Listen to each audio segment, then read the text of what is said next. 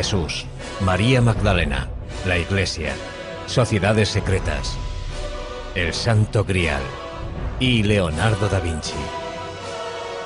Esos son los ingredientes principales del Código da Vinci. El multimillonario éxito de ventas escrito por Dan Brown que ha despertado una gran controversia. En la novela se ofrecen reinterpretaciones revolucionarias de obras de arte y arquitectónicas reales, con lo que el autor consigue difuminar la línea que separa la realidad de la ficción. Induce a pensar que las opiniones expresadas por Dan Brown sobre algunas obras de arte son realmente ciertas. Hoy analizaremos gran parte de esas obras creadas por Leonardo da Vinci, centrándonos especialmente en la Última Cena. ¿De verdad contiene esta obra maestra lo que dice el libro que contiene? Es indudable que hay pistas ocultas en las obras de Leonardo da Vinci. Pistas que nos ayudan a saber quién era, en qué creía y por qué continúa siendo una de las mentes más fascinantes que ha conocido el mundo. Como era hijo ilegítimo, no podía convertirse en notario. Por consiguiente, tuvieron que encauzarle hacia otra actividad. Obviamente saltaba a la vista que era un chico con mucho talento. Sabía dibujar muy bien. Sabía construir cosas. Es probable que fuera ambidiestro. Así que cuando vieron que le interesaba el arte, le animaron a que siguiera por ese camino, puesto que no había ninguna otra alternativa. Leonardo pronto se siente fascinado por la naturaleza. El agua, las plantas, los árboles, los animales, todo despierta su curiosidad. Años más tarde, Leonardo aseguraría que la naturaleza es la mejor maestra. Es más noble imitar las cosas de la naturaleza, que son de hecho imágenes reales, que imitar lo que se dice con palabras, porque las palabras son obra del hombre. Parece que su padre reconoció el talento del joven desde un principio y le hizo ingresar en el taller de Andrea Berrocchio, un lugar inmejorable para crecer como artista. El taller de Berrocchio es una verdadera universidad de arte. El joven Leonardo aprende a dibujar, a pintar, a trabajar el bronce, a crear muebles y a diseñar banderolas para los desfiles. Habilidades todas necesarias para convertirse en artista profesional. Lo que no es explicable es la chispa del genio. ¿Cómo sucedió? No creo que lo sepamos. Leonardo puede ver muchos proyectos excepcionales en el taller de Berrocchio. Una de las cosas más interesantes que hizo, o que al menos observó, fue la colocación de una bola dorada en la cúpula de la Catedral de Florencia. Tenía 5 metros de diámetro y fue un verdadero desafío tecnológico. La bola, dos toneladas de cobre dorado. Berrocchio crea el mecanismo que la colocará en el sitio elegido, en lo más alto del Duomo. Este logro de la ingeniería causa un gran efecto en el joven Leonardo. Durante el resto de su vida le interesarán tanto los retos técnicos como los artísticos. En el taller de Berrocchio completa su primera obra importante. Le encargan pintar un ángel en la obra de Berrocchio, el bautismo de Cristo. Y es la contribución de Leonardo la que más destaca del cuadro. Por primera vez en la historia de la pintura, Leonardo representa una figura que se gira hacia el espectador. Eso fue una especie de revolución en la historia del arte, porque hasta ese momento todas las figuras, todas las personas se representaban frontalmente, de forma muy estática, arcaica y medieval. Y ese gesto introdujo el movimiento en las figuras. Cuenta la leyenda que Berrocchio no quiso volver a tocar los pinceles, indignado porque un muchacho supiera más que él. Leonardo da Vinci tiene ahora 24 años y ya ha pasado de ser considerado el hijo ilegítimo de un notario a convertirse en un artista legítimo. Es un prometedor artista florentino a la altura de Botticelli, Ghirlandaio y Rafael. Leonardo ya ha terminado varios cuadros notables, entre ellos La Anunciación y el retrato de Ginebra da Vinci. Ha aprendido mucho en el taller de Andrea Berrocchio. Sus ideas y su técnica están evolucionando. Tomó cientos de notas sobre arquitectura y sobre ciencias. Escribió sobre óptica y perspectiva. Escribió de botánica, de anatomía, de geología. Y también se interesó por la ingeniería y la fabricación de armas, conocimientos que le resultaron de gran utilidad para conseguir encargos y alcanzar la posición que deseaba. Un detalle sorprendente de los cuadernos es la extraña letra de Leonardo. Casi todas las palabras están escritas al revés, de derecha a izquierda. Es esta la forma que tiene Leonardo de encriptar sus notas, como asegura Dan Brown en su novela El Código da Vinci. Lo que está claro es que si eres zurdo como yo, la forma normal de escribir es de derecha a izquierda. Uno no empuja la pluma, la sostiene. Y es perfectamente posible que adoptara esa costumbre porque nunca tuvo un estricto profesor de primaria encima de él diciéndole cómo tenía que escribir. Si así fuera, sería un código muy pobre. Su escritura resulta bastante legible si utilizamos un espejo. Yo pienso que fue un hábito que adoptó porque le resultaba más fácil escribir así. Un sangriento golpe de Estado planeado por el Papa y un colaborador amenaza con derribar a los Medici. Cuando el golpe fracasa, el Papa ordena al ejército de Nápoles tomar Florencia por las armas. Como para el resto de florentinos, la guerra es ahora una prioridad para Leonardo y empieza a diseñar escaleras y otros artefactos para defender y escalar las murallas de la ciudad. Leonardo empieza a trabajar en un nuevo campo, la ingeniería militar, algo que le fascinará durante toda la vida. Justo cuando parece que toda esperanza está perdida, la diplomacia de los Medici funciona. Florencia está salvada. Leonardo vuelve a tomar los pinceles, y en 1480 empieza a pintar San Jerónimo. En el cuadro captura al angustiado santo golpeándose el pecho con una piedra en el desierto. En la actualidad este cuadro está colgado en el Vaticano inacabado, como muchas otras de sus pinturas. Y sin embargo la precisión de Leonardo a la hora de dibujar la anatomía humana hace que el dolor de San Jerónimo cobre vida ante nuestros ojos. Leonardo tiene casi 30 años cuando Lorenzo de Medici envía a los mejores pintores de Florencia al Vaticano para decorar la nueva capilla Sistina. Esta colaboración forma parte de la nueva tregua firmada por los Medici y el Papa. Fueron elegidos muchos importantes pintores florentinos, pero no Leonardo. Es posible que se sintiera frustrado y que pensara que su talento no era reconocido. Pero Leonardo recibe un pequeño encargo que le mantiene ocupado. Un monasterio de las afueras de Florencia le contrata para pintar un retablo. El tema, la adoración de los magos. Leonardo tuvo que estar desesperado para firmar el contrato de este proyecto. Además de tener que pagarse él mismo los materiales, el contrato establecía que si no lo terminaba antes de 30 meses no le pagarían absolutamente nada. La composición de la obra es tremendamente ambiciosa, pero Leonardo supera todas las dificultades y el resultado final es impresionante. Es una revolución artística uno percibe que Leonardo está inventando un nuevo arte. Es probable que fuera demasiado nuevo incluso para él y que por eso lo dejara sin terminar. Y sin embargo, es posiblemente la primera pintura realmente moderna de la historia. La estructura triangular del grupo que está en primer plano se convierte en un principio indiscutible del arte del Renacimiento. También destaca su énfasis en la diversidad. El viejo, el joven, el calvo, el barbado. Y la idea que anota más tarde en sus cuadernos de que hay que pintar la figura humana de los huesos hacia afuera. Si nos fijamos en la parte derecha de la pintura, vemos a un hombre anciano, pero uno juraría que es una calavera. En uno de los extremos del retablo vemos a un joven con la cabeza vuelta hacia el exterior. Se cree que es un autorretrato de un Leonardo de 29 años. Leonardo dedica muchísimo tiempo al retablo y sin embargo no consigue terminar la adoración de los magos. En el Código da Vinci, que después de todo es una obra de ficción, Dan Brown habla de la adoración de los magos, insinuando que se ha producido un gran descubrimiento bajo cientos de años de pintura. La realidad es un poco diferente. Lo cierto es que hace varios años retiraron la obra de donde estaba con la intención de restaurar la pintura. Y por lo que sabemos no se encontró ninguna modificación ni nada subversivo debajo de la pintura, aunque sí parece que la obra pudo haber sido retocada con posterioridad a la fecha en la que fue pintada. En la actualidad la adoración de los magos está expuesta en la Galería Uffizi de Florencia.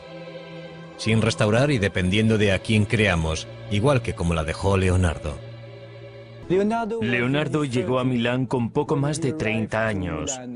Abandonó Florencia porque se sentía bastante infeliz allí, pero también porque se entera de que Ludovico el Moro quería construir una gran estatua para honrar la memoria de su padre. Leonardo le escribe una atrevida carta al duque ofreciéndole sus servicios, no solo como pintor, sino como ingeniero militar. Haciendo gala de un descaro increíble, Leonardo asegura que es capaz de hacerlo todo. Principalmente el duque necesitaba fabricar pertrechos militares, armas ofensivas y defensivas. Y Leonardo le dice que él es el hombre que necesita. Y lo que resulta muy interesante es que en medio de la carta empieza a hablar en futuro.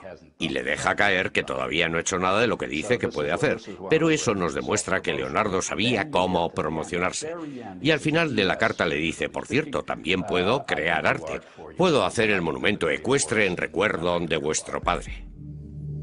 En su carta, Leonardo propone diseños de fortalezas y técnicas para la fabricación de cañones y máquinas para sitiar ciudades. Uno de sus conceptos se adelanta cientos de años a su tiempo. Inspirado en el caparazón de las tortugas, Leonardo diseña el antecedente del tanque moderno. Su exterior está hecho con planchas de metal inclinadas para desviar el fuego enemigo. Unas pequeñas troneras permiten a los hombres que están dentro abrir fuego a su vez. La verdadera innovación es su forma de moverse. Un sistema de manivelas y poleas giradas por hombres o caballos pone en funcionamiento sus cuatro ruedas. Pero si el tanque hubiera sido construido tal y como estaba diseñado, las ruedas habrían girado en direcciones opuestas y el tanque no se habría movido de su sitio. ¿Un error de aficionado cometido por Leonardo? ¿O un error intencionado para impedir que otros le robaran la idea? Nunca lo sabremos. Leonardo estaba también pintando un mural religioso para la iglesia de los Esforza. El tema, la última cena de Cristo con sus apóstoles. Para frustración de todos, pasaron años sin que pareciera que Leonardo pudiera terminar la obra. Ludovico Sforza le encargó esta obra cuando estaba decorando el monasterio de Santa María delle Grazie, probablemente como preparación para hacer un monumento funerario para él mismo. Por eso le encargó la última cena, una pintura mural para el refectorio, y en la pared opuesta iba a ir la crucifixión, con retratos de él y de su familia. Leonardo crea una composición revolucionaria para decorar la modesta pared de un monasterio.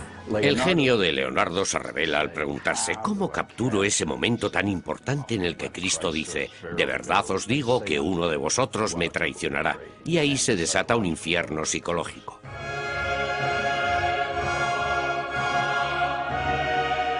Leonardo emplea los gestos y rostros de los apóstoles para traicionar sus emociones.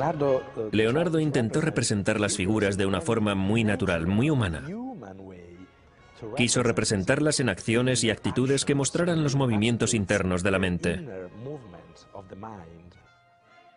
En vez de ponerlos a todos en fila, que era básicamente lo que se había hecho en los 100 años anteriores, Leonardo dividió a las trece figuras en cinco grupos. Cuatro grupos de tres personas para los doce apóstoles y Cristo aislado, formando un grupo separado. Y eso constituyó una innovación muy destacada. En el bestseller de Dan Brown, El Código da Vinci, novela de la que también se ha hecho una película, se aporta una interpretación sorprendente de la Última Cena. El Código da Vinci está basado en la teoría de que Leonardo deslizó un mensaje secreto en esta pintura. La figura de aspecto femenino a la izquierda de Jesús no es Juan, como aseguraría la tradición, sino María Magdalena, quien se supone que era la madre de Jesús. Naturalmente el Código da Vinci es una obra de ficción, pero ¿creyó Leonardo algo de todo esto? Conocer el contexto en el que dónde y por qué pintó Leonardo esta obra podría ofrecernos cierta perspectiva. Esta obra fue un encargo del duque de Milán para el refectorio, el comedor de un monasterio. Y el público que iba a verla estaba compuesto por los religiosos que se sentaban allí a comer. No era el lugar apropiado para deslizar un mensaje secreto. Y ese mensaje jamás hubiera llegado a una audiencia receptiva en caso de que se emitiera una opinión contraria a las enseñanzas de la Iglesia Católica. ¿Por qué tiene un aspecto tan femenino la figura que está junto a Jesús? Tradicionalmente, mostrar a un hombre joven con rasgos femeninos, en oposición a las figuras centradas en años que están sentadas a la mesa, era algo completamente habitual.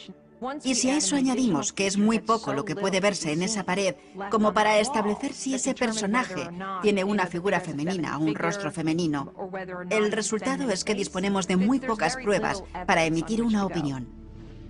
Y esa es la tragedia definitiva de la Última Cena, porque debido al deteriorado estado en que nos ha llegado es muy poco lo que ha sobrevivido de la obra de arte original. Ha sufrido ocho restauraciones documentadas, es posible que más. En la actualidad no sabemos qué partes de la pintura pertenecen realmente al pincel de Leonardo. Lo que tenemos que hacer es distanciarnos de la obra y decir que lo que de verdad queda de Leonardo es la composición. Leonardo regresa a Florencia y vuelve a tomar los pinceles. Empieza un retrato menor que acabará convirtiéndose en el cuadro más celebrado de la historia del arte. Es la espiritualidad inherente a la criatura humana que Leonardo fue capaz de reflejar en el retrato, la que eleva la figura humana a una especie de majestad. Se ha dicho que la Mona Lisa tenía ictericia, que era una mujer embarazada, que era un hombre disfrazado de mujer. Pero lo cierto es que la Mona Lisa es una gran pintura. Según el relato de un biógrafo, la Mona Lisa sería el retrato de Lisa Gioconda, la esposa de un mercader. Pero eso es algo que no es seguro. Para Leonardo, la Mona Lisa fue siempre una obra en evolución, su intento de alcanzar la perfección. En la actualidad el cuadro se expone en el Museo del Louvre, en París, protegido por un cristal antibalas. Es un tesoro nacional que no tiene precio. El cuadro no siempre estuvo tan bien vigilado, pero el robo de la apreciada pintura de Leonardo en 1911 lo cambió todo. Una mañana de verano, un antiguo empleado del Louvre descolgó la Mona Lisa de la pared sin que nadie le viera y salió del museo con el cuadro escondido debajo del abrigo. Su motivo, creía que el cuadro debía ser devuelto a Italia. Fue un acto de nacionalismo impulsado por la idea de que la Mona Lisa debería estar expuesta en un museo italiano. A pesar de una búsqueda desesperada, el cuadro permaneció en paradero desconocido durante más de dos años, hasta que el ladrón se ofreció a devolverlo a Italia a cambio de dinero. En 1913 fue detenido en Florencia. La Mona Lisa estaba cuidadosamente escondida en el falso fondo de su maleta, en perfecto estado. Curiosamente, el robo y la recuperación de la Mona Lisa solo consiguieron aumentar la fama del cuadro. Con 50 años, el deseo de Leonardo da Vinci por alcanzar la perfección artística le empuja en una dirección sorprendentemente científica la disección de cadáveres humanos. Creía que para poder representar el cuerpo humano tenías que entenderlo. Tenías que entenderlo desde los músculos hacia afuera, para poder cubrir los músculos con carne y la carne con ropa. Leonardo nunca fue un hombre religioso y no tiene reparo en sajar la carne muerta para poder dibujar de forma sistemática todos los detalles del cuerpo humano. Lo que podría disuadirte es el miedo a pasar las horas nocturnas en compañía de esos cadáveres, despedazados y desollados y horribles de ver. Finalmente, la curiosidad le empuja al lecho de muerte de un hombre de 100 años. Leonardo espera pacientemente a que muera el hombre para poder investigar la causa de su muerte. El resultado de su autopsia es el primer caso documentado de arteriosclerosis de la historia, endurecimiento de las arterias. Leonardo llega a esta conclusión tras comparar el sistema circulatorio del viejo con el de un niño. Sus estudios anatómicos son sorprendentemente precisos. Pero lo que para Leonardo es ciencia, para otros resulta macabro. Conseguir cadáveres es un problema constante. Años más tarde, las autoridades de la Iglesia se enteran de estas autopsias y creen que ha ido demasiado lejos. El Papa pone fin a sus disecciones de una vez por todas. Finalmente una pintura del pasado de Leonardo le lleva de nuevo a Milán. Después de más de 20 años le piden que vuelva para terminar La Virgen de las Rocas y supervisar la realización de una copia. ¿Cuál es el original y cuál es la copia? La versión del Louvre es la primera y se ajusta más al último estilo florentino de Leonardo. Probablemente el cuadro que termina colgado en Milán es la copia. Se pintó alrededor del año 1508 y está expuesto en la National Gallery de Londres. Pocos días después de cumplir 67 años, Leonardo llama a un notario para hacer testamento. Y según la leyenda, aunque nunca había sido especialmente religioso, Leonardo vuelve sus ojos hacia Dios. Es imposible saber si abrió su corazón a la religión en su lecho de muerte. No sabemos si es cierto que se interesó súbitamente por el catolicismo y que, como se dice, confesó sus pecados. Igual que un día bien empleado procura un sueño feliz, una vida bien empleada procura una muerte feliz. En su testamento, Leonardo planea su propio funeral, algo que no es necesariamente atípico. Lo curioso es que Leonardo ordenó la celebración de muchas misas en su honor, tres misas grandes y treinta misas pequeñas en cuatro iglesias distintas. Y dejó dicho que fueran el diácono y el subdiácono quienes llevaran su cuerpo a la tumba.